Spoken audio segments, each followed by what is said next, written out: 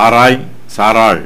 பின்னும் தேவன் ஆபிரகாமை நோக்கி உன் மனைவி சாராயை இனி சாராய் என்று அலையாதிருப்பாயாக. சாராள் என்பது அவளுக்கு பேராயிருக்கும். நான் அவளை ஆசீர்வதித்து அவளாலே உனக்கு ஒரு குமாரனையும் தருவேன். அவள் ஜாதிகளுக்கு தாயாகவும் அவளாலே ஜாதிகளின் ராஜாக்கள் உண்டாகவும் அவளை ஆசீர்வதிப்பேன் என்றார். அப்பொழுது ஆபிரகாம் முகங்குப்புற விழுந்து நகைத்து நூறு வயதானவனுக்கு பிள்ளை பிறக்குமோ தொண்ணூறு வயதான சாராள் பிள்ளை பெறுவாளோ என்று தன் இருதயத்திலே சொல்லிக் கொண்டார். கர்த்தர் சாராயின் பெயரை சாராள் என்று மாற்றுகிறார். பின்னும் தேவன் ஆபிரகாமை நோக்கி உன் மனைவி சாராயை இனி சாராய் என்று அலையாதிருப்பாயாக? சாராள் என்பது அவளுக்கு பேராயிருக்கும் என்று சொல்லுகிறார். கர்த்தர் சாராளை ஆசீர்வதிப்பார். கர்த்தர் சாராள் மூலமாக ஆபிரகாமுக்கு ஒரு குமாரனை தருவார். சாராள் ஜாதிகளுக்கு தாயாய் இருப்பாள்.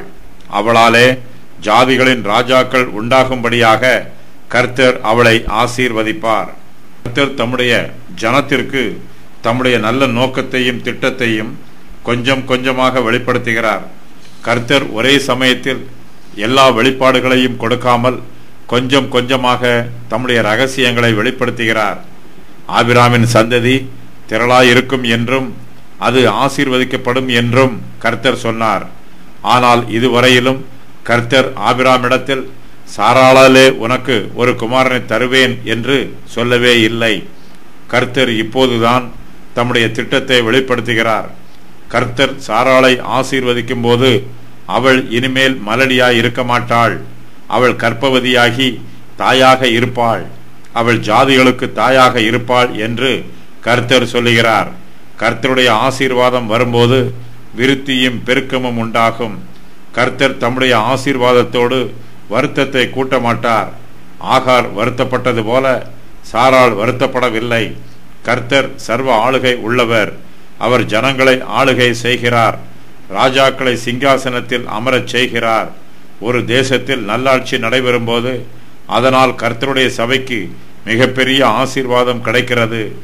தேசம் அமைதியாக இருக்கும்போது விசுவாசிகள் கர்த்தரை தடையில்லாமல் துதிக்கலாம்.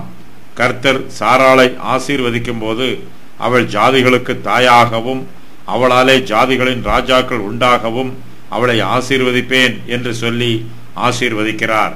கர்த்தர் ஆபிரகாமின் சந்ததியை ஆசீர்வதிக்கிறார். அவர்களை ஆளுகை செய்வதற்கு ராஜாக்களையும் கொடுக்கிறார். சாராயின் பெயரும் இப்போது சாராள் என்று மாற்றப்பட்டிருக்கிறது. சாராய் என்னும் பெயருக்கு என்னுடைய ராஜாக்கள் என்று பொருள். இதனால் சாராளின் மகிமை ஒரு குடும்பத்தோடு முடிவு பெறும். சாராள் என்னும் பெயருக்கு திரளான ராஜாக்கள் என்று பொருள். இதன் மூலமாக சாராளுடைய மகிமை அதிகரிக்கிறது. அவள் ஒரு ஜாதிக்கு மாத்திரமல்ல அநேக ஜாதிகளுக்கு தாயாக இருப்பாள். சாராய் என்பதற்கு இளவரசி என்று பொருள். சாராள் என்பதற்கு இளவரசிகளின் தலைவி அல்லது இளவரசிகளின் தாய் என்று பொருள். சாராள் என்னும் பெயர் சார் என்னும் எவரைய வார்த்தையிலிருந்து வந்திருக்கிறது. இதற்கு இளவரசன் என்று பொருள். சார் என்னும் வார்த்தையின் பெண்பால் சாராள் ஆகும். ஆபிரகாம் கர்த்தருடைய வார்த்தையை கேட்டு முகங்குப்புற விழுந்து நகைக்கிறார். நூறு வயதானவனுக்கு பிள்ளை பிறக்குமோ? தொண்ணூறு வயதான சாராள் பிள்ளை பெறுவாளோ என்று தன் இருதயத்திலே சொல்லிக்கொண்டு நகைக்கிறார். ஆபிராம் கர்த்தருக்கு முன்பாக தன்னை தாழ்த்துகிறார். அவர் கர்த்தருடைய சமூகத்திற்கு முன்பாக முகங்குப்புற விழுகிறார். ஆபிரகாமின் இருதயம் சந்தோஷத்தினால் நிரம்பி இருக்கிறது அவர் நகைக்கிறார். ஆபிரகாமின் நகைப்பு அவிசுவாசத்திற்கு அடையாளம் அல்ல அது சந்தோஷத்தினால் உண்டாகும் நகைப்பு. இது விசுவாசத்தினால் உண்டாகும் நகைப்பு. இது கர்த்தர் அவரை ஆசீர்வதிப்பதினால் உண்டாகும் நகைப்பு. ஆபிரகாம் களி கூர்ந்ததை இயேசு கிறிஸ்துவும் குறிப்பிட்டிருக்கிறார்.